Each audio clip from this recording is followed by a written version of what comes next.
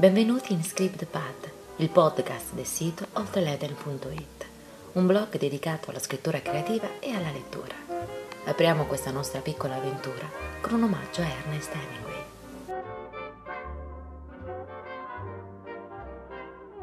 L'autore del Vecchio e il mare ha avuto una vita travagliata. Più che dalla sfortuna, i suoi mali sono arrivati dalle sue scelte. Figlio di un medico e una musicista, Ernest Hemingway è cresciuto ad Oak Park, circondato da una madre e un padre decisamente religiosi e un gruppo nutrito di sorelle che ripiegavano su di lui per qualsiasi cosa. Spirito intraprendente, a soli 19 anni decise di arruolarsi con la Croce Rossa e venire in Italia per vivere il brivido della Grande Guerra. Brivido che conobbe da vicino, riportando una ferita alla gamba che gli stava costando la vita. Hemingway era ancora ben lontano dal divenire lo scrittore che vinse il premio Nobel per la letteratura. Nessuno il vecchio e il mare c'era all'orizzonte, ma già il suo carattere letterario si stava formando. In quell'ospedale di Milano, dove venne ricoverato, conobbe Agnes Bonkuwowski, di cui si innamorò perdutamente. Di quell'amore ci rimangono solo i ricordi degli amici e le lettere di Agnes, che tratteggiano un quadro dello scrittore decisamente diverso da quello a cui ci ha abituati. Con Fatima Mutarelli parleremo di queste lettere. Fatima Mutarelli è autrice del sito dilloconunalettera.it. È presente anche su Facebook con lo pseudonimo di Ragazza alla finestra. Poliedrica, poeta. Fatima ci porta in un mondo dove la parola diventa dolcezza e la dolcezza una lettera da scrivere.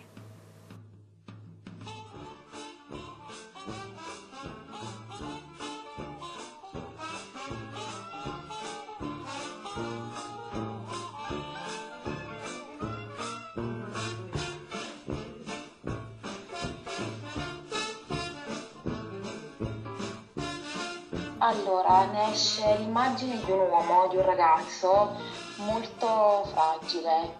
Sebbene nelle lettere mm, questa donna eh, sottolinea molto il carattere gioviale, ironico, scherzoso e forte di Ernest Hemingway, lui nelle lettere um, è quello vabbè, di una persona innamoratissima e quindi fragile, che chiede continuamente conferme all'amata e quindi Ernest si spoglia di qualsiasi corazza o di qualsiasi immagine, come dici tu, di persona forte, sicura e che ha padronanza di sé. E quindi dal basso, dall'alto dei suoi 19 anni, c'è questo ragazzo completamente perso per questa donna che eh, gli rivela forse le parti eh, che ha tenuto nascoste alle altre donne, c'è un Ernest completamente diverso. Lei uh, ha sempre questi nomignoli molto carini, lo chiama bambino, kid, uh, cucciolo, i nomignoli tipici tra due fidanzatini, ma penso che al di là del bambino in sé, perché loro avevano questa grande differenza di età, lui aveva 19 anni, lei 26 anni, e perché uh, Ernest si affida completamente a questa donna gli rivela qualsiasi aspetto di sé attraverso questa corrispondenza epistolare ed Agnes lo accoglie. Nell'Ernest delle lettere c'è l'Ernest che lascia la parola un po' così com'è, non è ricercata, non la approfondisce, nonostante nel, nei suoi libri lui era giornalista e quindi la parola è sempre molto diretta e sempre molto pulita, ma lì non non c'è la paura, forse come l'abbiamo un po' tutti quanti quando, scriviamo qualcosa, di stare lì uh, a cercare la parola che si incastri bene nella frase per fare effetto. Ernest uh, nelle lettere la lascia così com'è, la regala completamente all'amata come alla sorella, come alla famiglia. E forse qui la bellezza, non si preoccupa della parola in sé, ma cerca di mettere a nudo completamente le proprie emozioni, forse quello che non farà Ernest Sittore, eh, per cui nei suoi libri c'è tutt'altro stile, tutt'altra linea di scrittura. Tutti quanti quando scriviamo una lettera parliamo a noi stessi, la lettera è un po' come una foto e così sono le sue, quando leggiamo una lettera a distanza di tempo è come vedere una foto scattata tempo fa e la confrontiamo con quella che è la nostra persona di oggi. E chiunque si avvicini ad una lettera e chiunque voglia conoscere Ernest, io gli consiglio sì di partire dalla corrispondenza e dalle lettere che lui mandava ai, alla famiglia o in questo caso ad Agnes ed è uno sfogliare un album di foto. Hai qualche pezzo che ci vuoi leggere che ti è rimasto più impresso? Uh, sì, allora, come ho detto prima, la maggior parte delle lettere sono quelle che scriveva Agnes ad Ernest, perché nella corrispondenza di Ernest verso Agnes le lettere sono state la maggior parte perdute. Si dice che Agnes le abbia bruciate perché il fidanzato successivo era geloso di questa corrispondenza.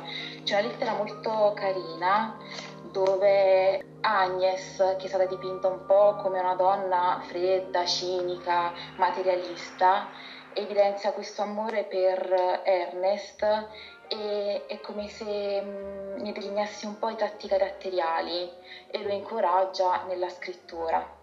La lettera è datata 17 ottobre 1918 e dice Erni carissimo, oggi ho ricevuto una lettera così cara e neppure me l'aspettavo, perché non pensavo di avere tue notizie prima di domani. Ti dico subito una delle ragioni per cui mi è piaciuta così tanto. Immagino che a ogni ragazza piaccia sentirsi dire da un uomo quanto è cara e come lui non possa vivere senza di lei. Anch'io sono un essere umano e quando tu mi dici queste cose vado in sulluchero e non posso fare a meno di crederti. Così non devi temere che mi stanchi di te. Non ho ancora incominciato a preoccuparmi sul serio, come fai tu adesso, della possibilità che tu non mi voglia più bene. Però ogni tanto ci penso e i miei pensieri non mi piacciono affatto.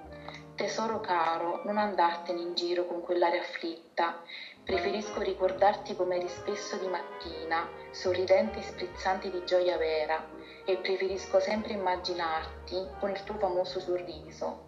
Quindi non rovinare il quadro ho di te, mettendo sul broncio in questi giorni, come se ti avessero bastonato, e scrivimi tutte le volte che hai dei francobolli. Ho letto tre volte la tua lettera di oggi e adesso le darò un'altra occhiata.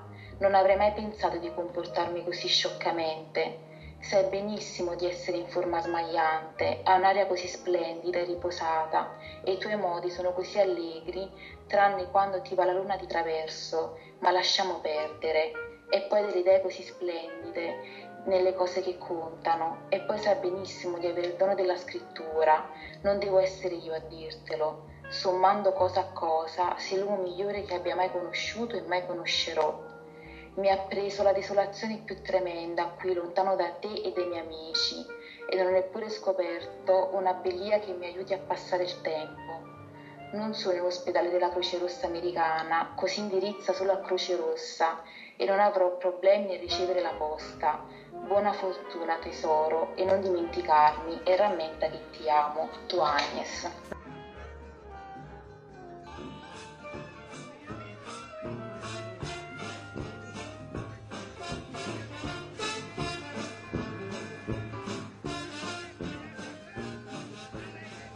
il luogo ideale dove la parola è di casa, dove scriveva Hemingway, dove traeva ispirazione, potremmo dire dal cuore. Eppure tutti gli scrittori hanno un ambiente ideale. Con l'architetto Francesca Donati entreremo nella stanza dello scrittore.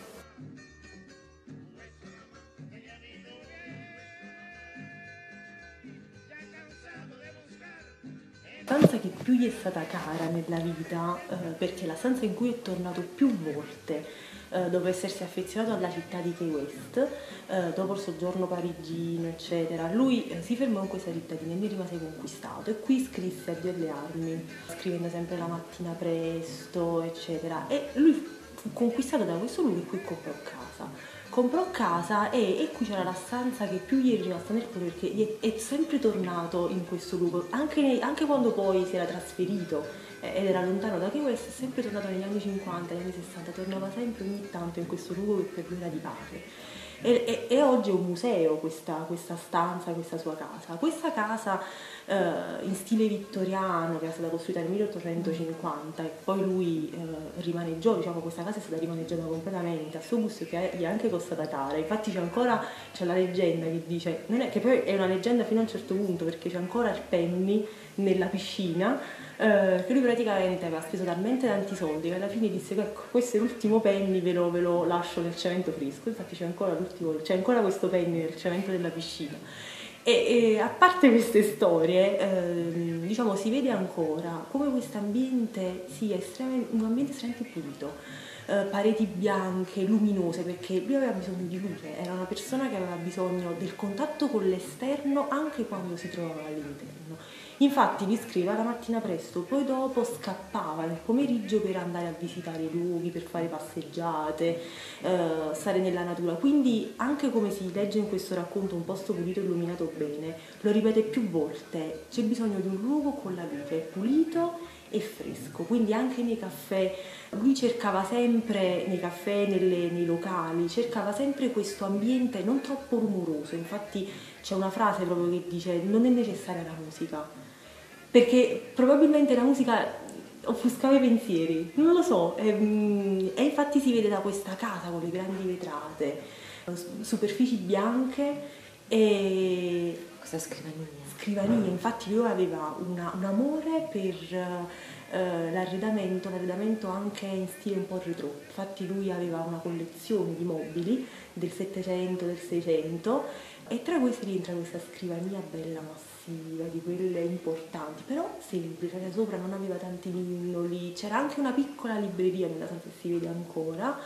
con pochi libri però sempre semplice, pulito. Minimalista. Minimalista, sì. Poi lui si faceva anche circondare da un sacco di gatti, eh? sì. quindi la stanza doveva essere anche un'abitazione per, per, i gatti, per le sue gatte. Un ricovero per questi Un ricovero, ne aveva tantissime. Una cosa molto interessante su Ernest Hemingway riguarda il fatto che mh, lui amava scrivere sia in posti dove non c'era assolutamente confusione, nemmeno musica, ma traeva ispirazione in locali quali possono essere i bar. Si sedeva spessissimo a Cuba, uno dei locali principali, dove si dice abbia poi scritto anche o abbia tratto ispirazione, abbia sentito dire di questa storia particolare che poi ha dato origine al vecchio mare.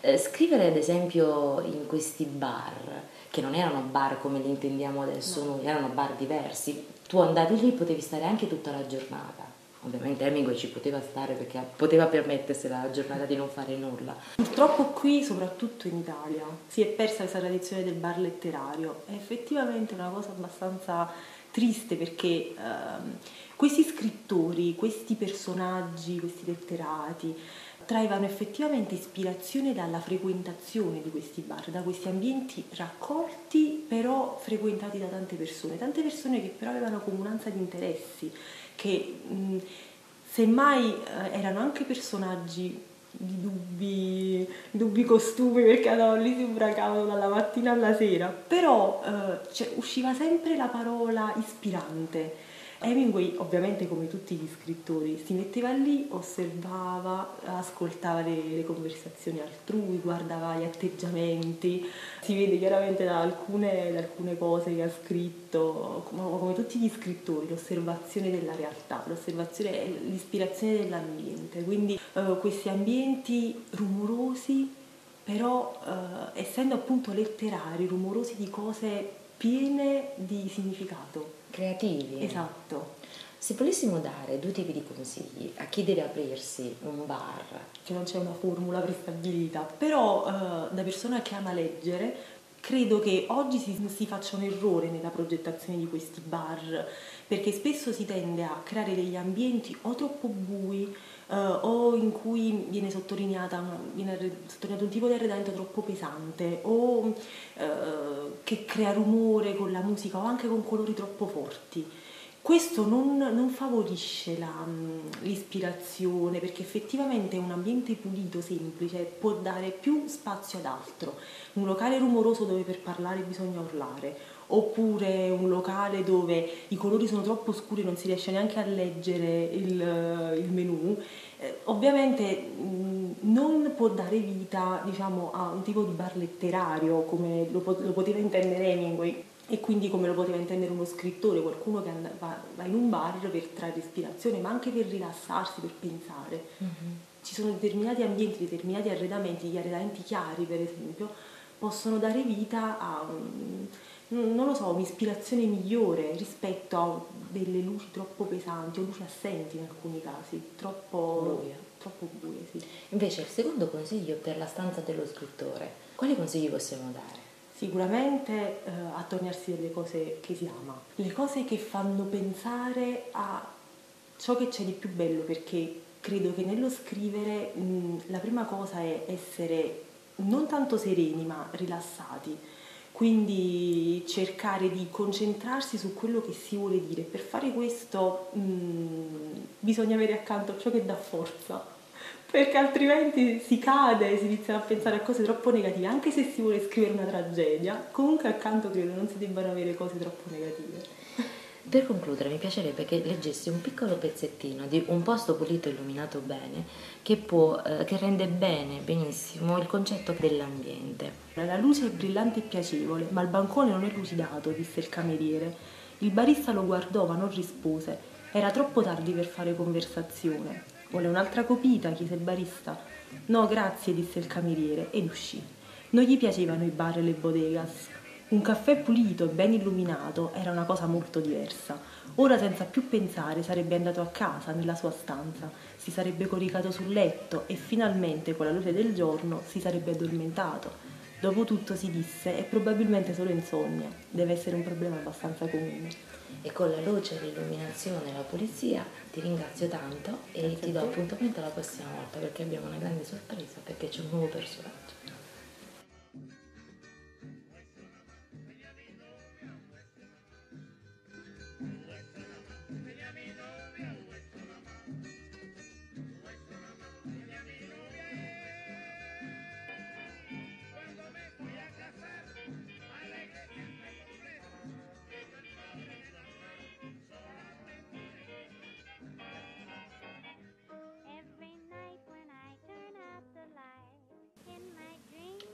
Era come andare a cento all'ora con una macchina che aveva sempre il pieno. Ernest Hemingway visse così la sua vita, senza fermarsi mai, cercando di scrivere ovunque si trovasse, in qualsiasi stato di salute, anche quando era allettato e non poteva. Il suo dolore maggiore era quello di non poter scrivere. E quando un giorno, dopo l'incidente aereo in Nairobi e una sequenza quasi assurda di incendi che gli causarono un'ustione su gran parte del corpo, fu l'impossibilità di scrivere il suo dolore più grande, Debilitato e senza forze, Ernest Hemingway incontrò la sua vera nemica, la depressione. Con la dottoressa Sara Bucafusca entreremo negli stati d'animo dello scrittore e cercheremo di capire i motivi che lo spinsero a compiere il gesto estremo del suicidio. Hemingway sembrava un macio, ma in realtà poi le persone che lo conoscevano, ad esempio ho letto alcuni articoli che ha scritto Fernanda Pivano, che appunto l'ha conosciuto in Italia, eh, confermava che era tutto tranne che macio, perché poteva sembrarlo considerando le sue passioni, quindi il fatto che cacciasse, il fatto che gli piacesse la pesca, eh, le corride, eh, però poi nel rapporto con le altre persone eh, era sbruffone con le persone che non gli apparivano sincere, però in realtà poi con le persone oneste, quasi tra virgolette pure, che non avevano doppi fini nei suoi confronti, era molto generoso, eh, ti aiutava, era una persona che non giudicava, quindi è un po' difficile insomma dargli appunto questa etichetta di macio, forse è un'etichetta sì, che sicuramente anche lui ha contribuito a, a creare con tutte le esperienze che ha fatto, comunque si è buttato nella guerra quando aveva 18 anni, sembra che tutte queste esperienze lo facciano sembrare un, un omone insomma, che non ha paura di niente, invece in realtà il, suo percorso secondo me è pieno di, di profonda rassegnazione verso comunque una vita contro cui non vincerà fatto che lui ha portato avanti le sue relazioni fino in fondo, cioè il fatto di aver sposato le, persone, le donne che, eh, da cui era attratto, perché comunque ha sposato quattro, quattro donne, eh, vuol dire che comunque lui eh, credeva nell'impegno, cioè non era un farfallone, cioè lo era, era un farfallone perché ha avuto anche molte relazioni eh, extraconiugali. extraconiugali, esatto, però comunque cercava di impegnarsi nel portare avanti una storia eh, d'amore. Questo secondo me è un punto a suo vantaggio. Poi il rapporto con le donne secondo me è stato marchiato eh, molto da, da, sua madre. Che... Lo cacciò anche di casa arrivato a un certo punto della sua vita perché al ritorno dall'Italia Hemingway si sentiva un po' spaesato, incominciò a darsi alla bella vita e dopo alcuni anni la madre disse che vogliamo fare? Lo cacciò di casa attraverso tra l'altro una lettera. Eh? E lui quando lesse questa lettera rimase molto scosso e si diede poi alla ricerca di un lavoro che trovò nel giornalismo. La madre non l'ha mai accettato, non ha mai accettato la sua passione per la scrittura e non ha mai accettato che non avesse iniziato l'università e che non avesse continuato il suo percorso da violoncellista perché la madre era una cantante, sognava per lui, insomma, forse eh, un, sogno che in realtà era il suo, eh, ha messo delle aspettative sul figlio che invece era profondamente diverso da lei e aveva tutt'altri interessi.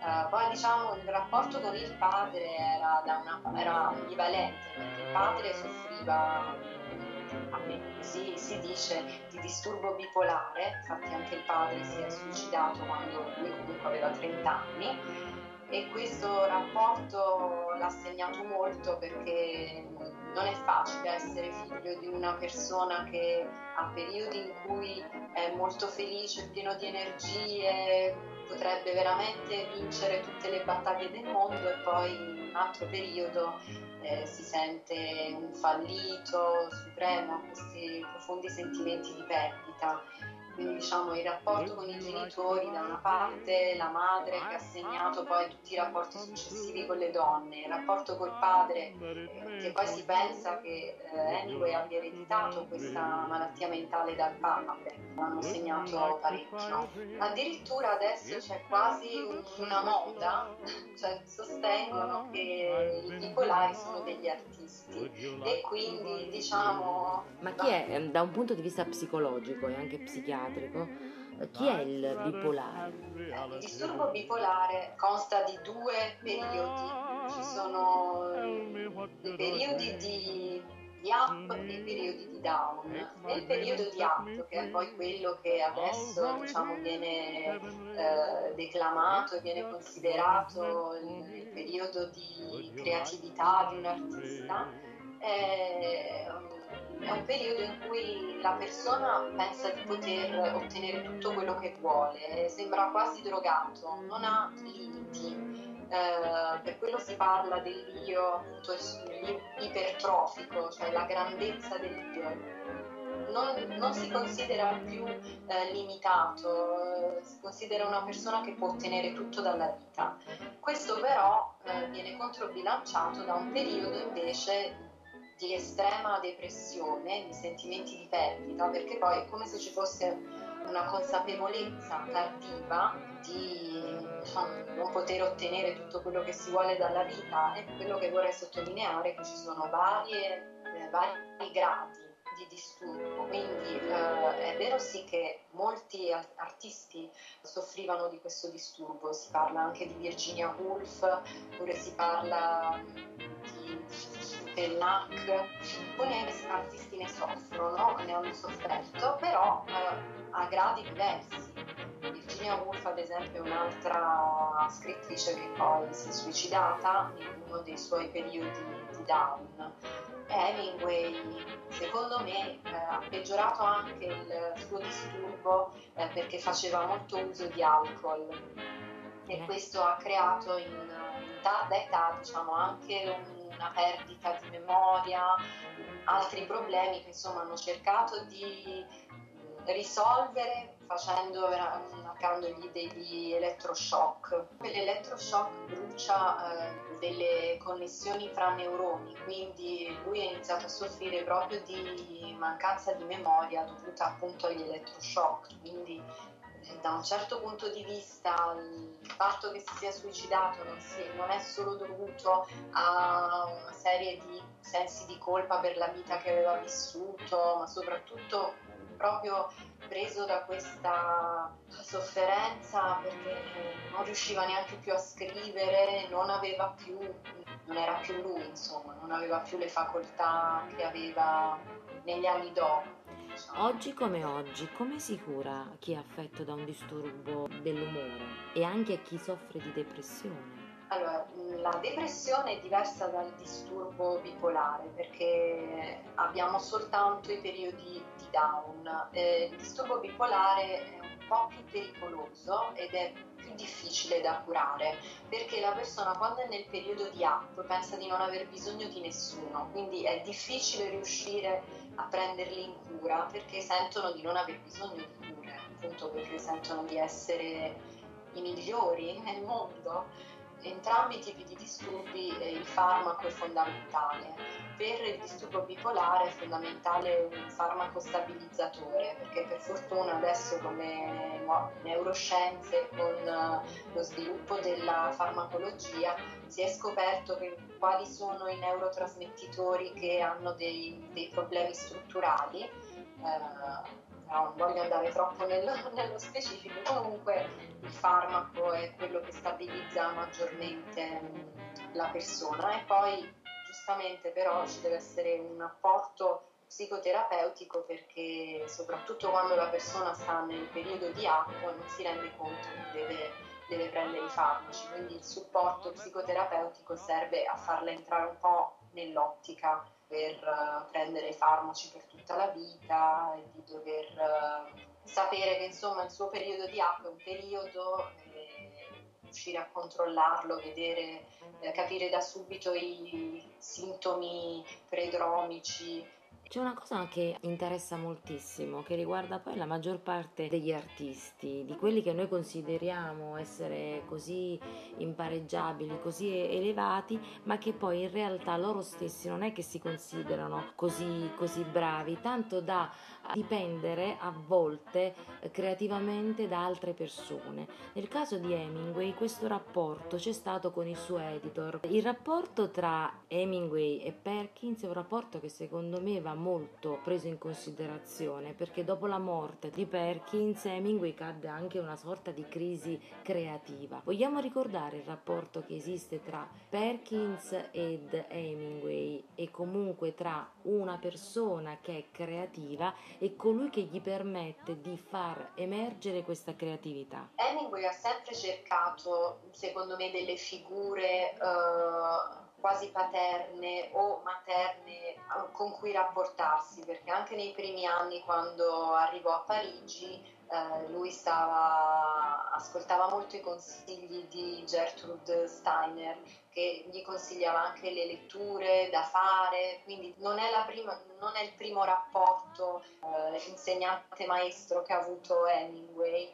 Io penso che proprio le persone che sono così creative, quasi un'esplosione di creatività per Hemingway, avessero bisogno di qualcuno che li creasse dei limiti attorno a, a, lui, attorno a quello che scriveva. Poi Hemingway lo scrive anche in un suo romanzo la prosa è architettura, diceva lui, nel senso che eh, non scriveva di getto, poteva sembrare, la sua scrittura era molto semplice, poteva sembrare una scrittura di primo acchitto e invece Hemingway eh, rifletteva molto su quello che scriveva, era molto articolato il processo perché cercava di rendere dei concetti complicati in modo semplice e poi eh, cercava di non descrivere le emozioni ma suscitarle con la scrittura e penso che questo lavoro eh, avesse bisogno di qualcuno che lo guidasse perché è difficile riuscire a capire da soli se quello che scrivi può suscitare un'emozione nell'altro.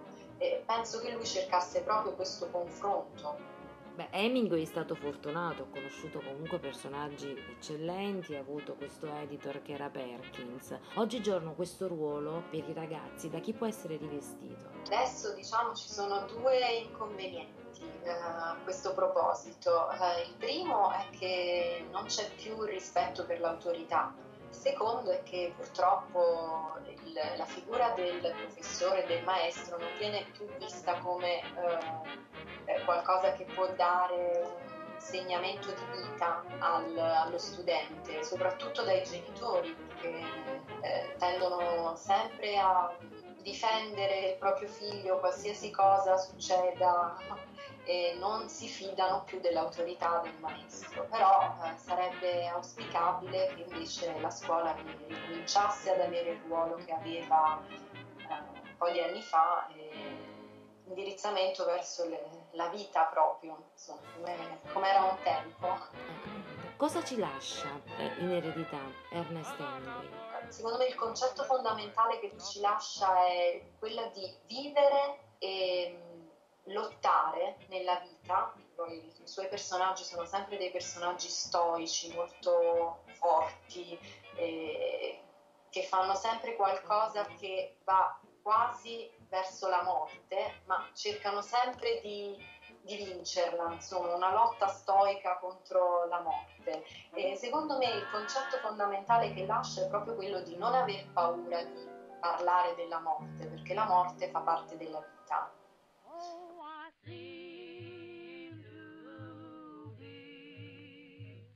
Perché è più facile, secondo te? Per quelli che credono in Dio o per quelli che la prendono più semplicemente? La religione è un gran conforto, ma noi altri sappiamo che non c'è niente da temere. Morire è una brutta cosa quando dura troppo a lungo e ti fa tanto soffrire da umiliarti.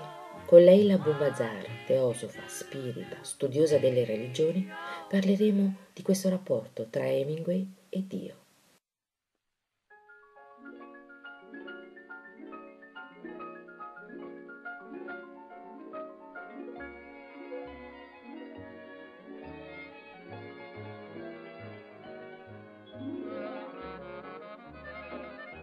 La, il, suicidio, il fatto che sia una, un, un, crimine no? verso, verso se stesso e verso Dio, eh, pure nella Bibbia dice no, che il, il maggior peccato è quello commesso contro lo Spirito Santo e noi pensiamo che lo Spirito Santo sia qualcosa lontano da noi e che sia un Spirito Santo, una colomba, quella cosa lì. Ma no, lo Spirito Santo vuol dire lo Spirito che alleggia dentro di noi, è l'alito divino che è stato messo dentro di noi. Una volta che tu commetti, va pure uccidere qualcuno, è un, è un crimine contro lo Spirito Santo. Il suicidio chiaro che Hemingway eh, ci avrà pensato, ci avrà ragionato su, anche se cattolico sapeva che era un crimine contro, contro le leggi di Dio, ma comunque Dio non, non è che è un, uno che sta là con la bacchettina che punisce la gente, la, la punizione siamo noi stessi che, che, diamo, che ci diamo, no? Siamo noi stessi che attraverso le nostre, le nostre problematiche, le nostre cose, noi stessi che ci puniamo. Perché tutte, tutte, tutte cose sono collegate, no? E Dio ci ha dato la, la facoltà di, di, di, riscattarsi attraverso le nostre... Lui chiaramente sentendosi depresso, la depressione è una cosa gravissima perché apre le porte non solo alla, alla sensazione di nullità, che non, che non, esiste nulla che lo possa confortare o che non c'è nulla che si possa fare, no? Ma comunque eh, la depressione porta a, questo, a, questa sensazione di che ma non c'è manco Dio. Então, il suo pensiero non si è sentito manco eretico facendo questo, perché quando uno è, arriva a pensare questo vuol dire che non considera manco Dio. Eh, sinceramente, uno che se considerasse l'esistenza di Dio é, uno dice, caspita, se qua già soffro, no? Se devo andare per la Chiesa cattolica, per esempio, all'inferno, no? se devono andare all'inferno perché sono un suicida, eh, eh, credo che l'inferno sarà molto peggio di quello che vivo qua, no? Penso io. Perciò lui non considerava proprio l'esistenza di qualcosa di superiore, perché se no non l'avrebbe fatto. E lui ha fatto una cosa in vana quando arriva là dall'altro lato. La prevenzione è, è giustamente informare che, che, la morte non esiste.